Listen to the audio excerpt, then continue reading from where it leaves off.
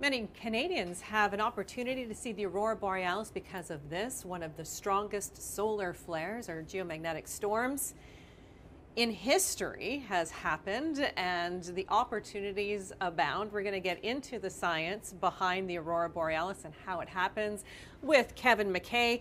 Uh, Kevin, this is an interesting graphic because we have our aurora borealis night where when we expect it but also in the daylight.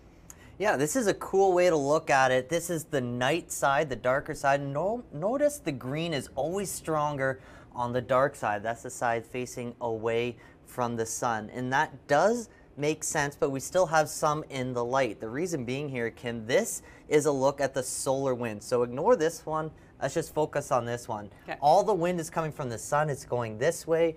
And just like water flowing behind a rock or wind behind your car, it's going to funnel in behind the planet. And that's where we have the strongest winds in that little bit of a wake. And that's where we have low pressure, just like wind around a storm. Yeah, see, it's not that different really to what's happening down here on Earth. But yes, when we're thinking about strong winds, we have to keep in mind that the Earth has a little bit of a, a shield around it.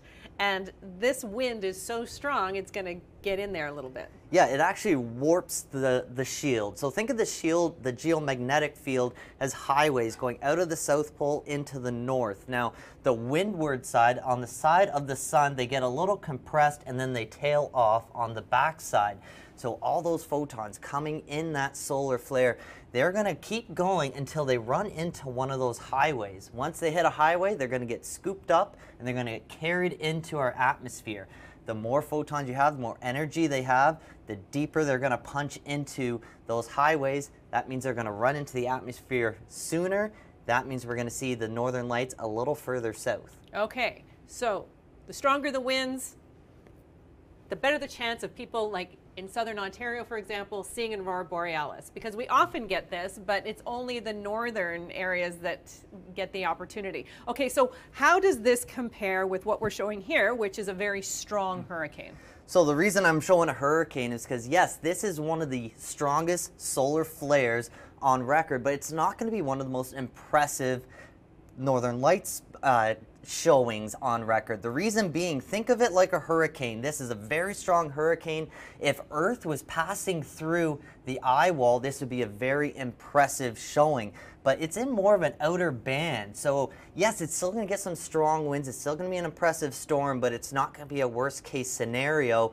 And that's why Saturday night, we're going to have, you could almost compare this to a hurricane as let's say a category three hurricane, it's going to be like a G3 geomagnetic storm. Okay, so we could have a really strong solar flare, but if it's not in the right spot, it's not really going to impact Earth as much as if we were in the exact right path. So just like a hurricane, a hurricane can be a category four, but if it's not really close to land, it's not going to do a lot.